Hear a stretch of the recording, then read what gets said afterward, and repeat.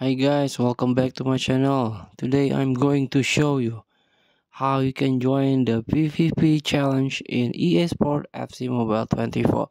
So this is the player versus player challenge.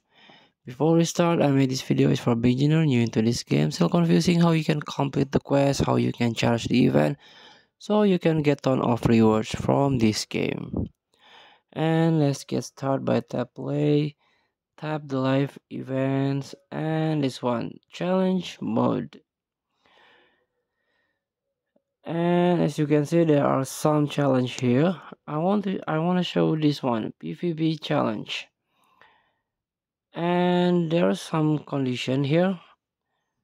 There is a condition that required team of OVR is between 80 until 100 this is the entry condition. So you can learn here about this challenge. This is the challenge information. You can read there are 10 point and currently it will reopen in 45 minutes. And you need this challenge ticket that can be acquired in the store and used to play PvP challenge.